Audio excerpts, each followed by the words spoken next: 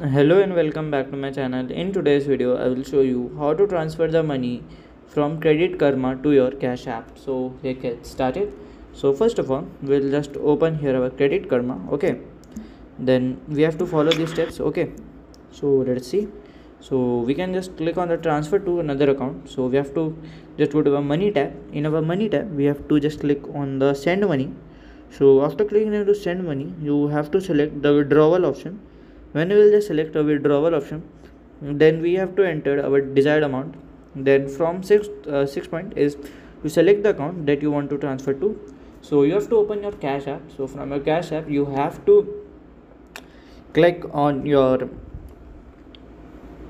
uh, trans like uh, profile. So from your profile you have to copy your routing number and your account number.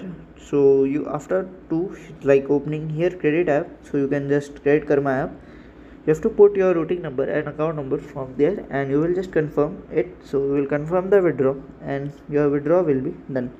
So this is how we can just do it. So if you find this video helpful make sure you like subscribe and share the video. Thank you for watching